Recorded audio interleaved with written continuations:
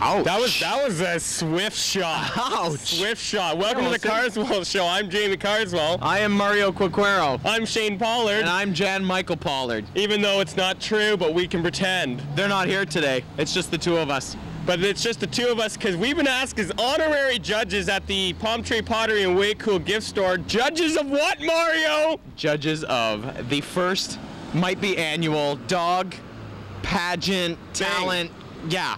I'm And- judging on poise, beauty, um, barkability. That? No, Yeah. barkability is, and that's that's probably going to be the most important aspect of uh, of doing it. And Yeah. you know, everybody's having a good time out here in town. We got the music playing, we got the hip hop and jobbing thing going, but It's- we got to go. crazy. Yeah, we We'd like go. to party, but we got to go do a dog show. We got to go.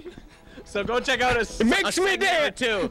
Go check out a segment or two, and we'll see you later. We'll see you. All right, which way do we go? I've never been here before, so I'm not I'm really going sure. this way. I'm going this way. All right, I'm going with you. Can I bring the mic? No.